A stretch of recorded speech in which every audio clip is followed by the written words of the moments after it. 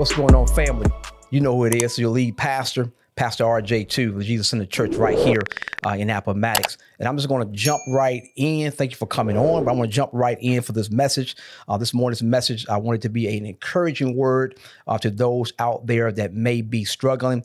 Um, but I want to end this year strong, and I want you to finish out this year strong as well. So I want to start with a scripture that's going to point to the point of my message for the day, and it's coming from the book of Isaiah, uh, chapter 45. And I'm reading um, verse, starting verse 9 out of the NIV version. And it reads on this wise it says, Woe to those who quarrel with their maker, those who are nothing but potsherds among the potsherds on the ground. Does the clay say to the potter, What are you making?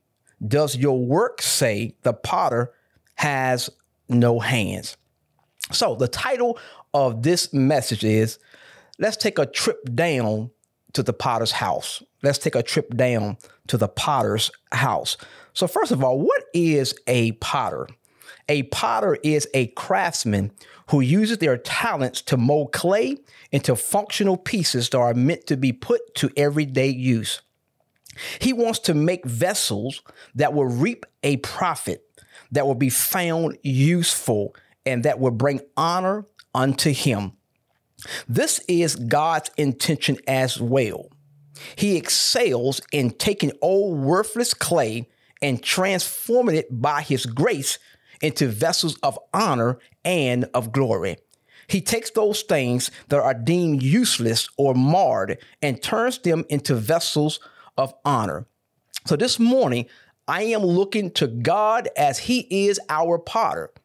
And we, as God people, we are the clay. At times we pray to the Lord, we want your perfect will to be done.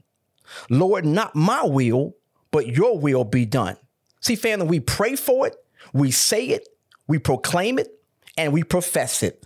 But what we don't realize is this it is one of the most dangerous things that we can pray in our lives. When you open up your life for the will, the W I L L of God for your life, what he does is he puts you on the wheel, W H W H E E L on your life. One of the most dangerous things to pray is this prayer because the most challenging fight, family, that I had to fight in my life was not the fight against sin or the fight against the enemy or with a person or a circumstance. But the biggest fight of my life was with God. It was God conforming me to his will for my life. See, it sounds easy, but it's the difficulty that comes with a fight. See, God put me on the potter's wheel and it was very uncomfortable, but He began to shape me. He began to make me, to conform me into His will. See, family, I found out we don't celebrate and we don't talk about chasing after our purpose and our destiny because we are then placed on the potter's wheel. Let me give you an example which can be found with the children of Israel. When God gave them their purpose, He also gave them a promise that reflected the end result. When God told them about taking them out of the place of bondage and placing them in the land that flowed with milk and honey, the place of promise, I guarantee you that they didn't have a problem with the end result. They didn't have a problem with the purpose, the destiny, the land, or the promise. But here it is. They had a problem with the potter's wheel. After they spent 40 years in the desert wandering because they had to go through his process, God then told them it is time to go into the promise. And guess what, family? God wasn't trying to get the promised land ready for them. But guess what? He was what trying to get them ready for the promised land.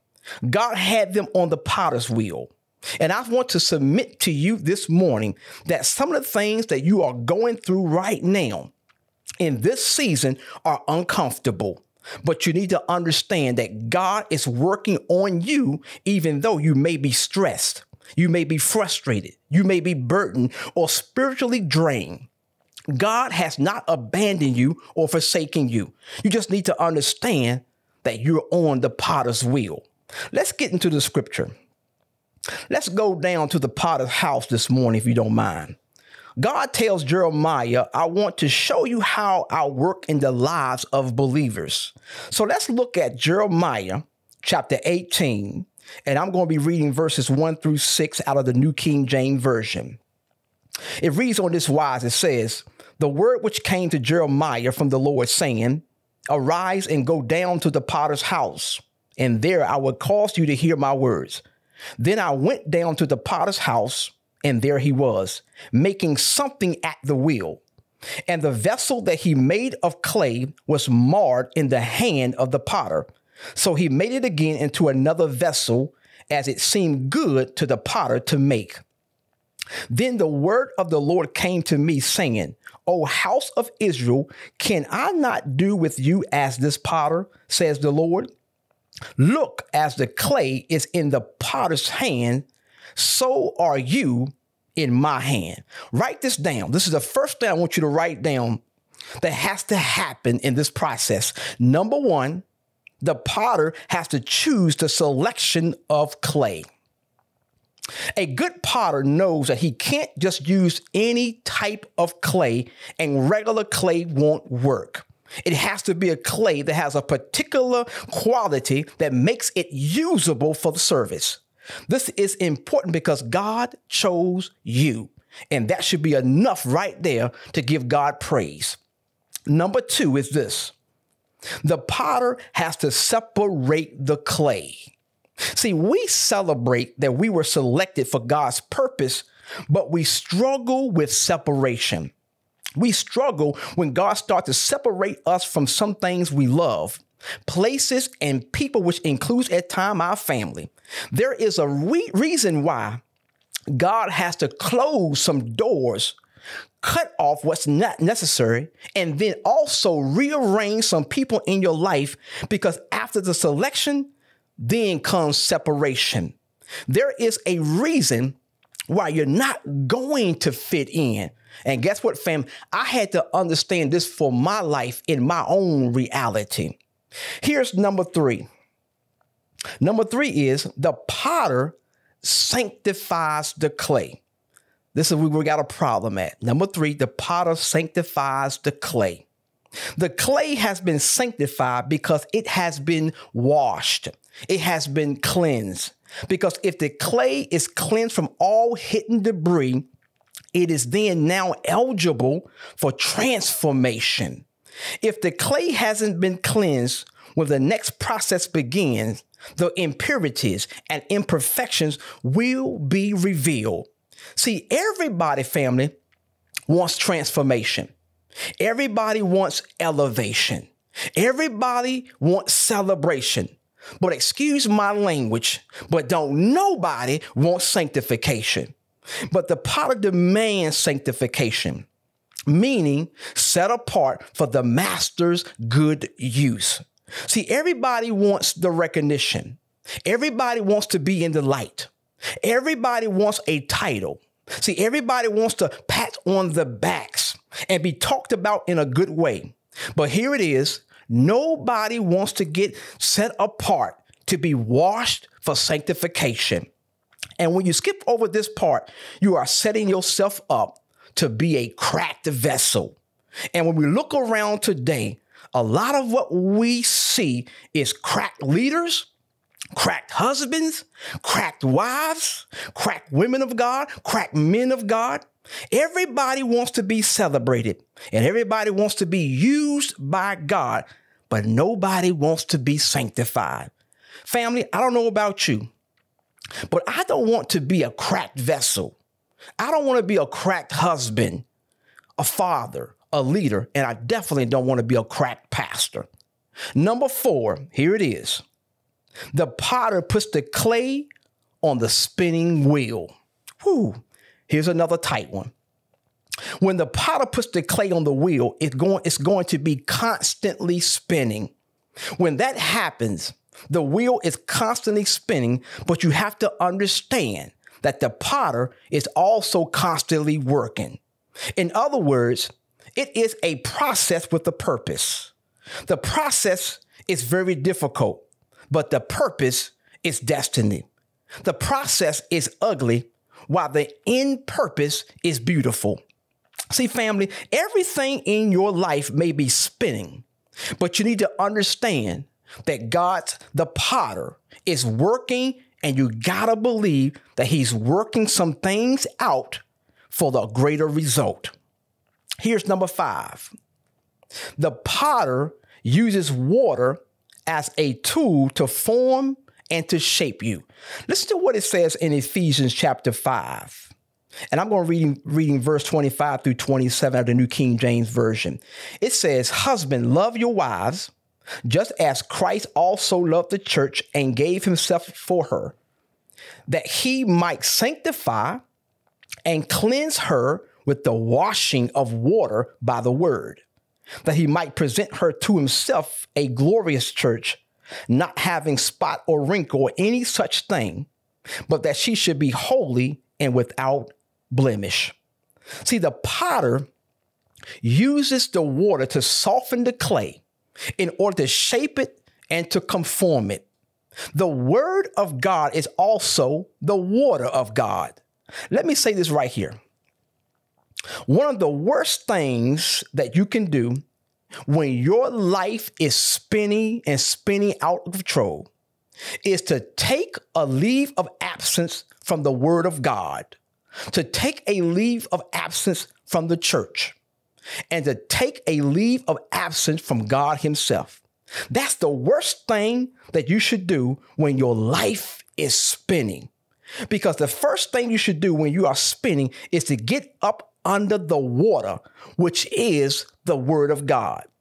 This is why when you come to church on Sundays and you are feeling a bad type of way, and when you get up under the Word that goes forth, it begins to turn you around. See, I need some people who will come into the church house not worrying about what kind of shoes they got on or worrying about what kind of clothes they got on because they are more concerned about getting a word that will change their life around. Here's number six, and I'm about, I'm about at the end. Number six is the potter then uses his hands.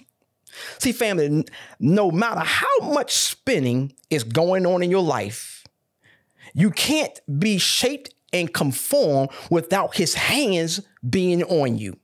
See, you have to have the potter's touch, the touch of the potter, because he knows exactly how much pressure to apply in order to shape and to mold you to the potter desired image. But what we need to understand is something right here because we got to get this. Something went wrong in the process. Jeremiah 18:4 says, "And the vessel that he made of clay was marred in the hand of the potter." Please understand this. It was nothing wrong with the spinning wheel. There was nothing wrong with the water. And there was nothing wrong with his hands but there was something wrong with the clay. I need you to un- understand this that even though that you are a work in progress, you are in the right place. See, you are in the right place, but here's the issue. You cannot fix yourself. See, the clay can do nothing without the potter. You can't pull yourself out of the pit without the potter. You can't save yourself without the potter. It doesn't matter how many people you know, how many degrees you have, or how smart you may be. It doesn't even matter because you can't do nothing without the potter. Verse 4 says, And the vessel that he made of clay was marred in the hands of the potter. See, the potter has a choice. He can destroy it, he can scrap it, throw it away, or discard it, and start over with something brand new. But God has the power to destroy what he has made. So that means that the clay is at the mercy of the potter. But we serve a merciful, graceful, a long suffering, and loving God. How many out there this morning You're glad that God looked at you with all your imperfection, flaws and all, and decided to keep working on you. I am so glad he kept working on me. See, verse 4 said that he made it again into what? Another vessel. God decided to keep working on it a little bit more. He kept beating it. He kept kneading it. He kept rolling it a little bit more. And ultimately, he is going to reshape it. And so, how many out there this, this morning can thank God right there where you are and praise God for not giving up on you? I am so thankful. See, family, taking a trip down to the potter's house was a story on grace. Can you praise him this morning for grace? See, we shouldn't need anybody to pump us up or to prime us to praise God. That's why David said, I'm going to praise him all by myself because David knew he was flawed from the very beginning. And just like David, he chose to keep us even when he could have thrown us away. He could have denied me, but he didn't do it. Even when I lied, he didn't give up on me. When I made mistakes, when I dropped the ball, family, when I gave up, he did not give up on me. I thank God for his hands are still on me. I thank God that his hands is still on my life. He is here's the last one. And I want to close with number seven. This is the last one in this whole process. Number seven is the firing process. The firing process. Nobody wants to go into the fire. Nobody wants to go through the fire because we're afraid that we're going to be what? Burn up and be consumed. See, one of the most important parts of creating pottery is the firing stage. Once a clay item receives its glazing, its sculpting, a potter places it then in the kiln furnace. The hot temperature in the fiery furnace will allow the clay to solidify, to get hard, and to gain stability. But here's the main point that I want you to get before I close. The purpose of placing it in the fire is to improve the strength of that clay object. God said, when you go into the fire, you're not going to be burned. You're not going to be consumed because it's in the fire is where he's going to move all of the impurities, all of the imperfection. And when you come out of the fire, go through the fire because you're not going to be consumed. You're going to come out solidified. You're going to come out on stability. You're going to come out and you're going to be stronger than you was when you went in. See, family, there's a blessing by going down to the potter's house and being placed on the potter's wheel because it's in his hand. That's when God is going to shape you, to make you and conform you into the person that he wants you to be in not just in this season, but what? For the next season. Let us pray. Father God, Lord, in the name of Jesus, Lord, I thank you, Lord, for this time that you have given me to speak a word in season to your people that, Father God, that we can finish strong. When things may not be going our way, and when things are in that's in our lives, and we find ourselves we're spinning and we're spinning and it feel like we're out of control, help us to understand and to know that long as we're on the spinning wheel, that we're in your hands and if we're in your hands, everything is going to be okay. So, Father, I just ask on today, help us, Father God, those that may who have been listening in. They'll take something from this message, glean something from this message, and apply within their life to be able to finish out this year strong. Lord, I thank you for this short time and this short, profound message to speak a word in season to your people. And I ask on today, Father God, for your hands to continue to be upon us and that you will continue to strengthen us in the things that you've called for us to do. In Jesus' mighty name, we pray this prayer. Amen and amen. God bless you, family, for allowing me to speak a word in season to you that you can be able to finish out this year strong. But sometimes we got to take a trip down to the potter's house. God bless you, and I love you. And I see you back here, same time, same place on the next occasion. God bless.